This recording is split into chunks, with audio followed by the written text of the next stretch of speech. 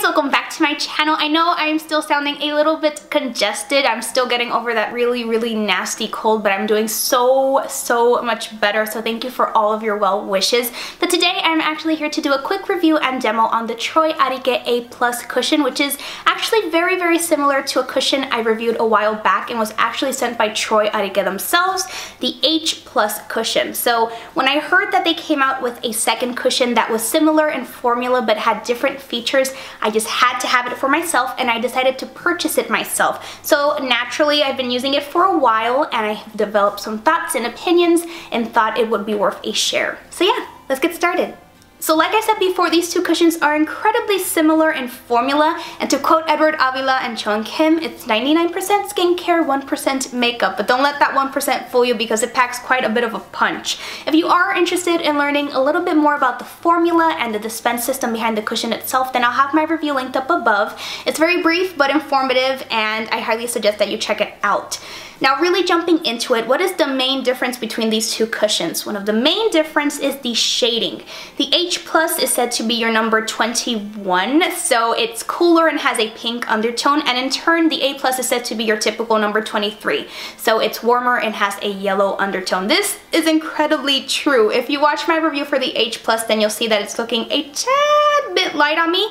It does look a lot better in, art in natural light than it does in artificial lighting, but it's still a little bit too light on me.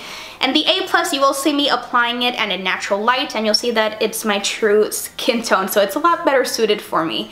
The other difference is that the H+, plus is actually meant for dry skin. Now, I did not know this. I had previously attributed the fact that, and as much as I loved it, it just didn't last on me all day and I thought that was due to all of the skincare properties it had affecting the makeup aspect. Now I know that's not necessarily true because the A Plus has all the same skincare benefits but it lasts on me all day and that's because it's formulated for combination slash oily skin.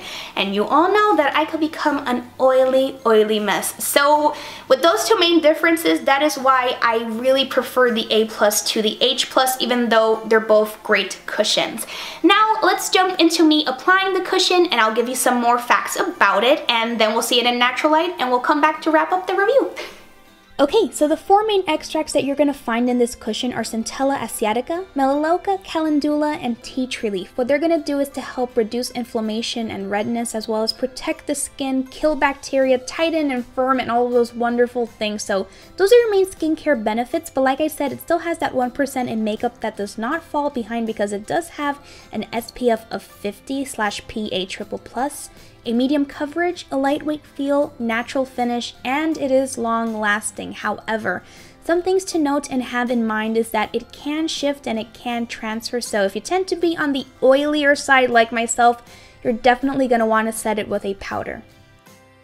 What I find so innovative about this cushion is that not only does it make a great makeup product, but it's also healing your skin at the same time. And that's just something that I can't get over and I absolutely love. Now I think that Arike has created two fabulous cushions here. It is just such a shame in how limiting they are because they only come in one shade each. So if you have dry skin, you only have the pink undertone available. And if you have combination slash oily skin, then you only have the yellow undertone available. I just hope that as they become a better known brand, they start to expand in that aspect because I think there's a lot of room for improvement there.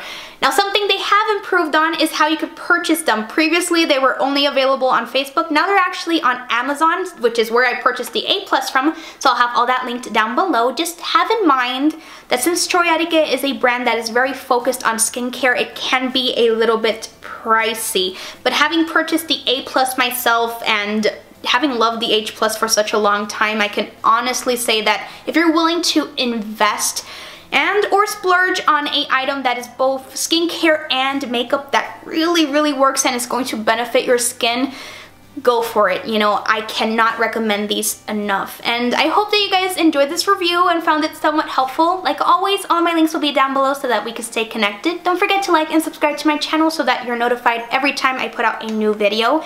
Thank you so much for watching. Thank you for stopping by and until next time.